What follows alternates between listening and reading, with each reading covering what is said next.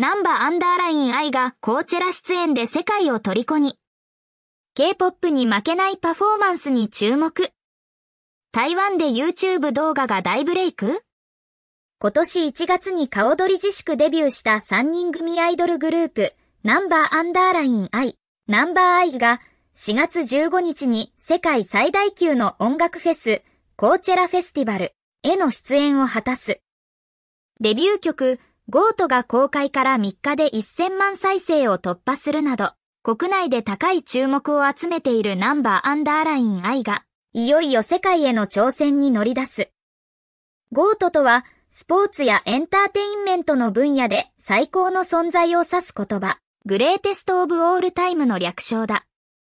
この楽曲は、全編ラップで激しいヒップホップサウンドが特徴。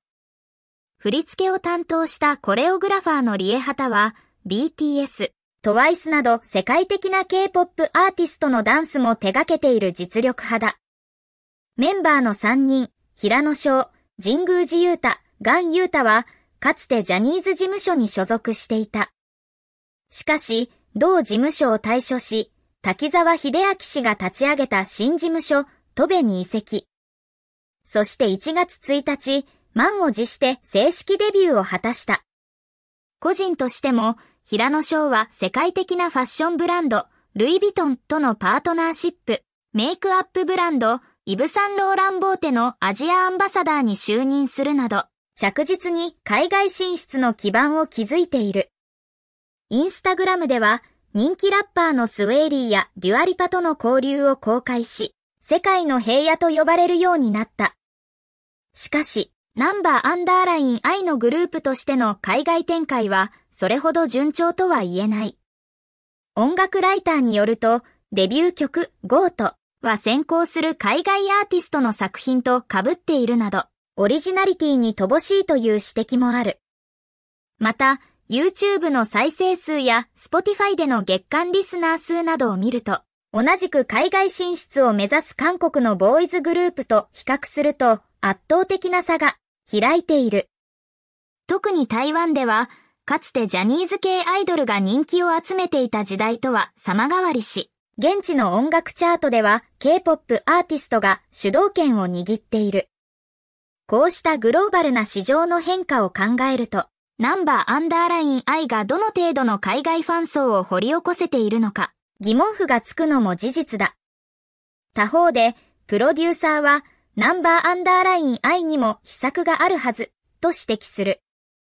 BTS、セブンティーン、エンハイプン等、韓国の大手事務所が築き上げた圧倒的なグローバルプラットフォームに比べると、日本の事務所のインフラは貧弱だ。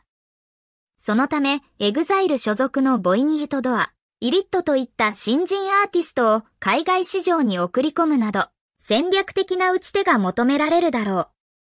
また、ジャニーズ時代から海外展開に長けていた滝沢社長ならではの手法にも期待がかかる。例えば、人気ヒップホップアーティストとのコラボで世界的な注目を集めるなど、ナンバーアンダーライン愛のぶちかましますというコメントにも秘密が隠されているのかもしれない。これまでの日本のアイドルには見られなかった圧倒的なパフォーマンス力を持つナンバー、アンダーライン愛。彼らがコーチェラフェスティバルで世界の観客にどのような衝撃を与えるのか、注目が高まっている。果たして、ナンバーアンダーライン愛は国内で築き上げた勢いを武器に、世界への飛躍を果たせるのか。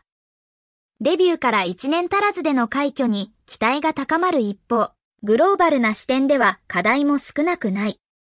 日本のアイドルグループが今後どのように世界の舞台で存在感を示していくのか。その行方を見守っていきたい。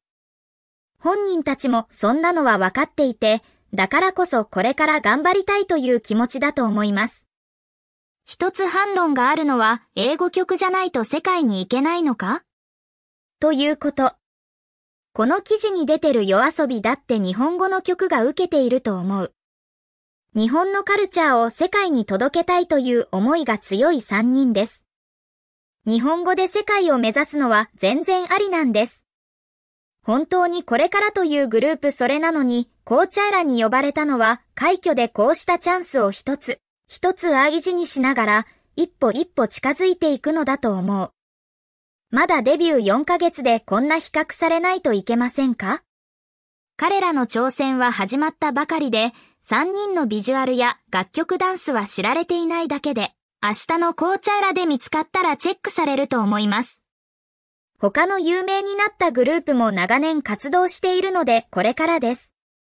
ミュージックジェネレーションのデビュー曲特集を見てたら、 Number underline i の GOAT が流れてきて、バリバリ王子様キャラだったキンプリの子たちが、こんなアングラな雰囲気でデビューしたんだと正直びっくりしました。ダンスがキレキレでかっこよかったです。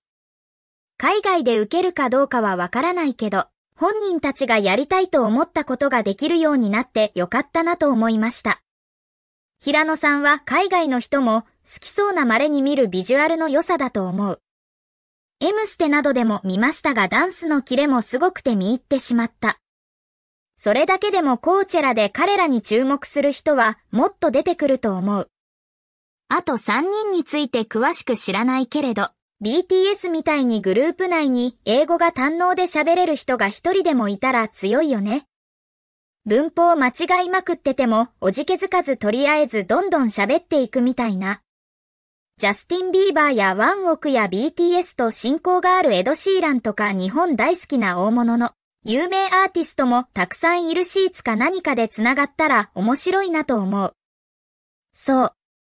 前の事務所ではせっかくのポテンシャルを持ちながら世界に名を売る活動ができなかったというのが出遅れた要因かと。彼らは新たな出発をしてまだ4ヶ月。事務所自体もやっと1年経ったばかり。今まで世界に向けて戦略を練り、活躍されているような事務所やアーティストと比べるのはあまりにも状況が違うし、比べられた方々にも失礼だと思います。これからもっと時間をかけて世界に名を轟かすアーティストになってくれるよう、これからも応援したいと思います。賞賛は失敗してもともと、それを恐れて小さくなって挑戦しなくなったら自分ではない。愚直に何度でもやってみようとしています。成功していく人ってこういうシンプルで強靭な志を持っています。先にネガティブなことを考えずに、日本の若者たちの果敢な挑戦を応援してあげても良いのではないかと思います。頑張れ。賞賛、ガン君、神宮寺君、ナンバーアンダーライン I。20代後半は海外に出るタイミングとしてギリギリで良かったと思う。もっと早い方がいいけれど。彼らはダンスもビジュアルもいいと思うし、あとは英語力云々。私の友達の中には学生時代は全然英語がダメだったけれど20代後半から必死でやって習得した人も知っているとうんとコネクションだけどなんだか今の彼らを見ていると滝沢さんという人物は結構なコネクションを持ってそうにも見えるからコネクションや良い縁を最大限フル活用して世界で頑張ってほしいですね。彼らはなんとなく気取らず人懐っこそうにも見えるから良い縁にも恵まれそうな気もしますし、